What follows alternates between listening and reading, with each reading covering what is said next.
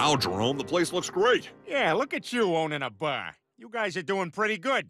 First you get to run Somalia, now this. Well, it sure is good to be back in the old clam. Hey, there's some guys sitting in our booth. Maybe we should tell them it's our booth. Uh-huh. Or, we could just sit on the floor next to these garbage cans. White guys